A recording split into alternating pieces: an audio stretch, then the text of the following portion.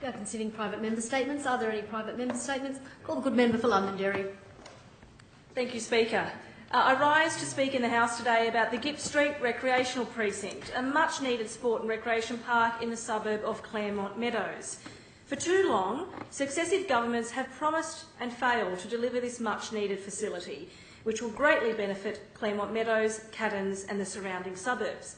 Indeed, it would be a one-of-a-kind recreation precinct in Greater Western Sydney.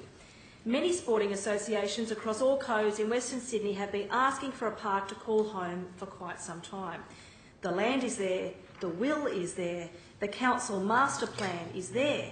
We just need the government to come to the table. Indeed, in 2011, we saw a former candidate and the then shadow minister posing for photo opportunities with bulldozers, promising to fight for the Gipps Street recreational precinct, but four years on, we've seen no action.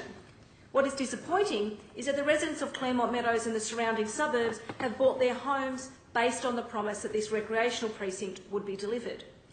During the state election campaign, this issue became very obvious to me when local residents expressed their frustration every day when I was door knocking in Claremont Meadows.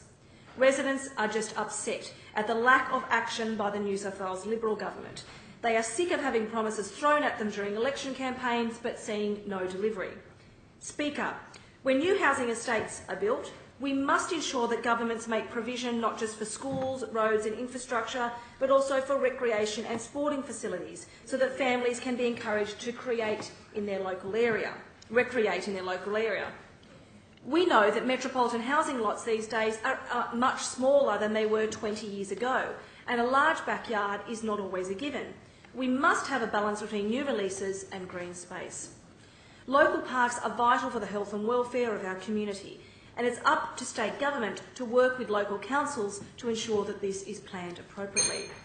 Instead of providing taxpayer-funded assistance to elite sporting stadiums, maybe the state government should be ensuring that the future suburbs of Sydney include, include recreational precincts close to homes.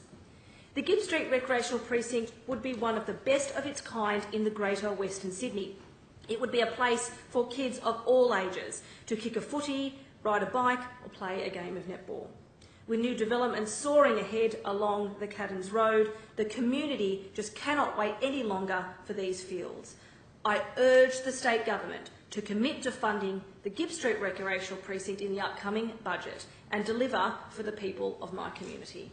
Thank you, Speaker. We are considering private members.